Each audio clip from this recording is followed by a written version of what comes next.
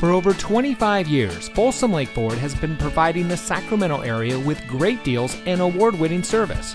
And here's another look at a great vehicle from our huge selection of pre owned cars, trucks, and SUVs, and comes equipped with heated front seats, leather wrapped steering wheel, steering wheel controls, keyless entry, Sirius XM satellite radio, rear view camera, tire pressure monitoring system, alloy wheels, air conditioning, powered driver's seat, and has less than 45,000 miles on the odometer. Only the best trade ins and purchased vehicles make it through our meticulous inspection and reconditioning process.